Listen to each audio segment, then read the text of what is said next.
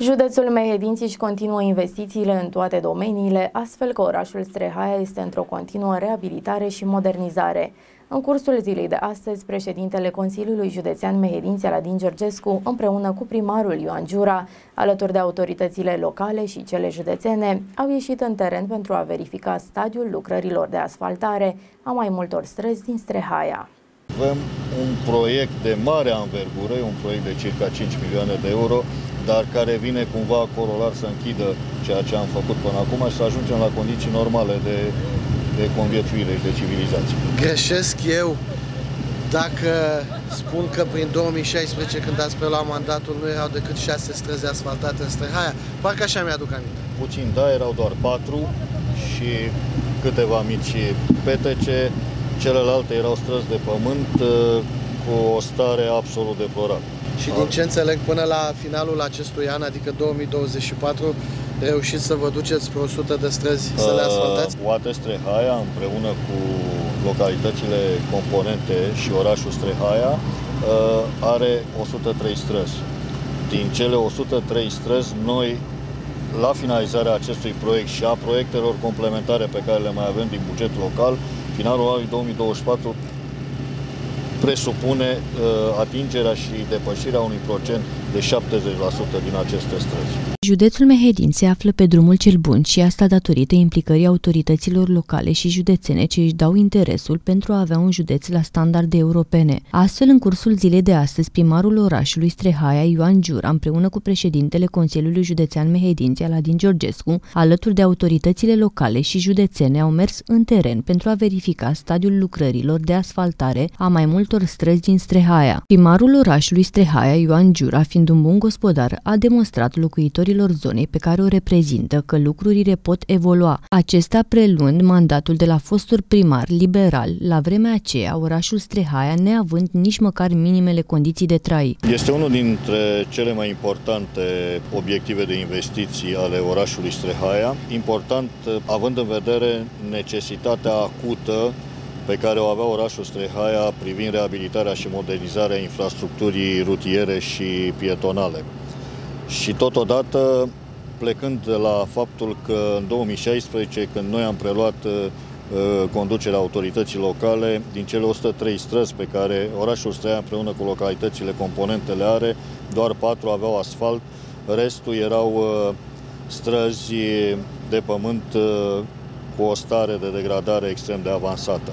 Este un proiect aprobat de către Consiliul Local în anul 2022, cu o cerere de finanțare depusă în cadrul Programului Național de Investiții Angel Saligny, program aprobat de către Guvernul României la sfârșitul anului 2021 și am reușit să semnăm un contract de finanțare în aprilie 2023 și am dat un ordin de începere în august 2023 cu un termen de finalizare august 2024.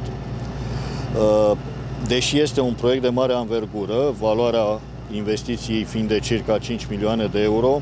Constructorul s-a mișcat bine și avem certitudinea acum că în luna august a acestui an toate cele 33 de străzi vor fi finalizate, vor fi pregătite de recepție cu toate elementele moderne ale infrastructurii uh, rutiere și pietonale, având trotuare, având rigole pluviale, având uh, parcări, spații verzi stradale, și tot ceea ce este necesar pentru o infrastructură specifică anului 2024 specifică mediului urban. Președintele Consiliului Județean Mehedinți, Aladin Georgescu, își dorește ca județul cel conduce cu succes să fie într-o continuă ascendență, acesta atrăgând fonduri europene pentru dezvoltarea județului Mehedinți. Mă bucur că și dumneavoastră, reprezentanții presei, ați constatat această evidentă schimbare din 2016 până în 2024. În acest interval s-au făcut lucruri semnificative, s-au făcut investiții semnificative în orașul Stăhaia și astăzi chiar putem vorbi că își merită merită Stehaia titulatura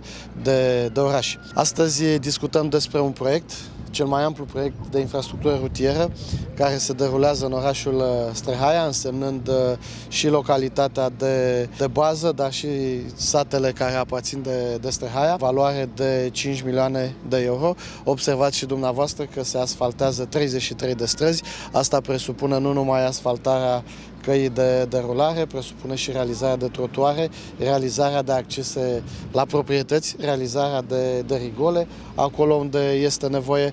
S-au asfaltat și în anii trecuți pe alte programe guvernamentale și alte străzi, astfel că astăzi, când, când vorbim, avem speranța că la finalizarea acestui proiect, adică la sfârșitul lui 2024, peste 70%, așa cum spunea și domnul primar, din străzile orașului Strehaia vor fi asfaltate.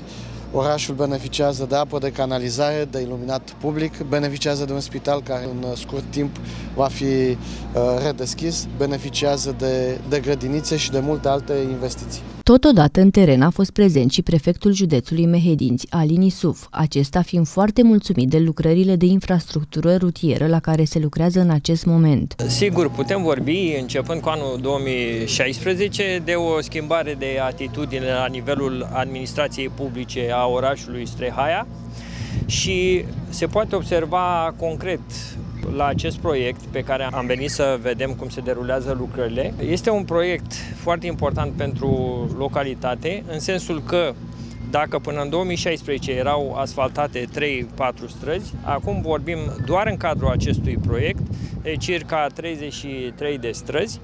Este un proiect uh, foarte mare, de 24 de milioane de lei, iar uh, străzile practic înseamnă o treime din uh, infrastructura orașului Strehaia.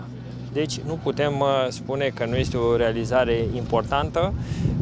Între timp s-a investit și în alte și în alte străzi la nivelul orașului, astfel încât putem spune că undeva pe la 70% drumurile sunt reabilitate sau sunt în curs de reabilitare. De asemenea, senatorul PSD Mehedinți, Liviu Mazilu, și-a dorit să felicite atât cetățenii orașului Strehaia, cât și pe primarul orașului Ioan Giura, aceștia făcând front comun în dezvoltarea comunității. În primul rând vreau să-i felicit pe streheni, dar și pe primarul Giura, pentru că, iată, cu acest proiect, acest program guvernamental, cu proiectul depus de primarul Giura, practic orașul Strehaia iese din mocirlă și tinde să devină un oraș modern, un oraș cu străzi asfaltate. Proiectul ăsta este unul generos, o modernizare care va duce la uh, trotuare bine îngrijite, la rigole, la parcuri și de ce nu pe viitor și locuri de joacă, scurgerea apelor fiind asigurată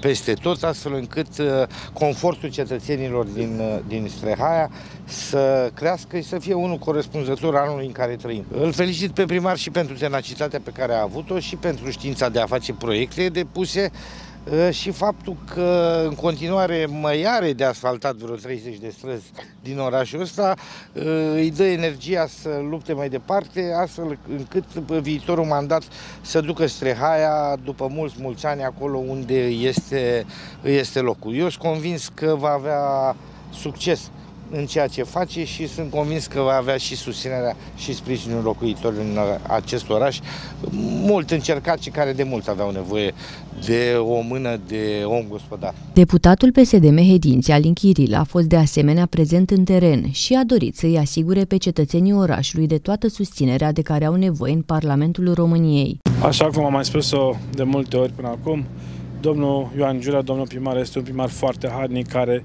a transformat această comunitate. Și pe această cale vreau să îl felicit din tot sufletul pe acest primar, fiindcă este un primar foarte gospodar și foarte harnic.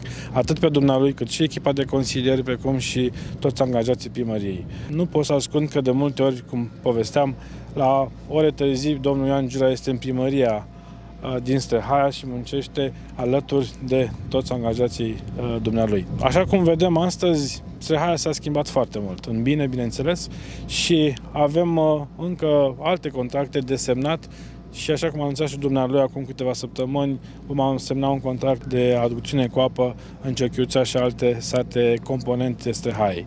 Îl felicit și tot timpul voi fi alături de dumnealui. Licitația lucrărilor a fost câștigată de o asociere de firme din județul Mehedinți, constructorul lucrărilor asigurând autoritățile locale și județene că lucrările de asfaltare vor fi gata până la data termenului stabilit. Lucrăm la un cadru proiectului de reabilitare și modernizare străzi oraș Strehaia, un număr efectiv de 33 de străzi însumând 10 km de, de drum, care modernizare, asfaltare, trotuare, spații verzi, sistem de scurgere apelor perigole, carosabile, rețea de scurgere ape fluviale din gaigăre, spații verzi, parcări, trotuare, în cât timp estimați că terminați lucrarea și dacă vă ajută vremea în această perioadă? Vremea ne ajută, este favorabilă și sperăm ca în maxim 3 luni de aici să, să finalizăm tot. Cetățenii orașului Strehaia văd aceste investiții extrem de necesare pentru întreaga zonă și sunt bucuroși că acum beneficiază de condiții de trai decente. E foarte